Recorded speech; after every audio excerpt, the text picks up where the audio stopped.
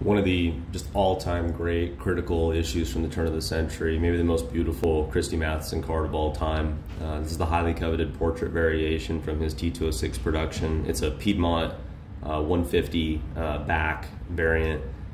Uh, it's just a pastel, beautiful issue, and you know depicts one of the early first adopted Hall of Famers and maybe his most desired card.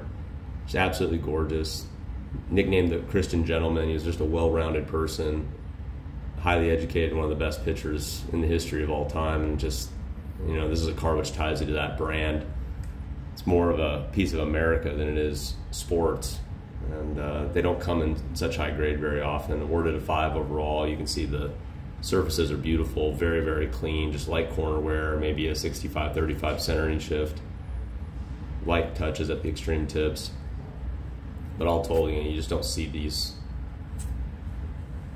surface hardly ever anymore. And the rarer they get, the more desired they become, it seems. So, absolutely gorgeous.